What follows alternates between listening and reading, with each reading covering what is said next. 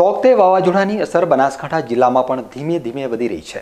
આજે વહેલી સવારથી જ વાદળછાયા વાતાવરણ બાદ ઝરમર ઝરમર વરસાદ વરસી રહ્યો છે. તેવામાં જિલ્લાના તમામ બસ રૂટો પણ આજે બપોરથી જ બંધ કરી દેવામાં આવ્યા છે.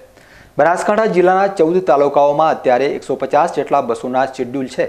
જે તમામ શેડ્યુલમાં છસો પચાસથી પણ વધુ રૂટો ઉપર બસો ચાલુ હતી તે તમામ રૂટો ઉપર આજે બસો બંધ કરી દેવાઈ છે. અને જે જગ્યાએ બસ હોય ત્યાં નજીકના બસ મથક ઉપર બસને મૂકી દેવા માટે તમામ બસ ચાલકોને સૂચના આપવામાં આવી છે. જ્યાં સુધી વાવાઝોડાની પરિસ્થિતિ થાળે ન પડે અને ઉપરથી આદેશ ન આવે ત્યાં સુધી તમામ બસ રૂટો બંધ રહેશે તેમ વિભાગીય નિયામકે જણાવ્યું હતું.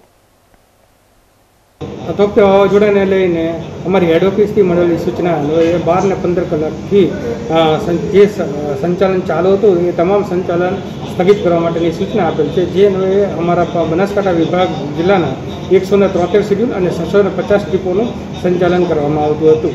જે એકસો તોતેર શેડ્યુલ અને છસો પચાસ ટ્રીપો જે તે જગ્યા અત્યારે હાલ સંચાલન સ્થગિત કરી દીધેલ છે. એટલે કે જે નજીકના ડેપો હોય ત્યાં ખાતે સુરક્ષિત જગ્યાએ પાર્ક કરી દેવાની સૂચનાઓ આપેલ છે. ફરી આ બસોના રૂટો છે તે ક્યારે શરૂ થશે? બીજી સૂચના મળે નહીં. ત્યાં સુધી અત્યારે સ્થગિત કરવામાં આવે છે. બીજી સૂચના મળશે પછી સંચા રાબેતા મુજબ સંચાલન કરવામાં આવશે. વાવાઝોડાની અસરના પગલે બનાસકાંઠા જિલ્લામાં તમામ બસ રૂટો બંધ થઈ જતા અનેક મુસાફરો રજળી પડ્યા હતા અને ખાનગી વાહનોનો સહારો લેવો પડ્યો હતો. આ ઘર વખરી જાઉં કોઈ સામાન લેવા માટે.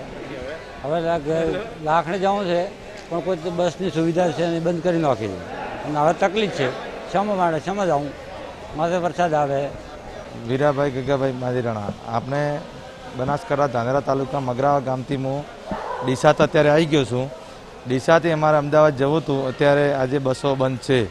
બસો બંધ થઈ ગઈ. એવું સાંભળ્યું છે કે બનાસકાંઠામાં વાવાઝોડાનું આ છે. એટલે અમદાવાદ જવા માટે અમારી બધે બસો બંધ છે.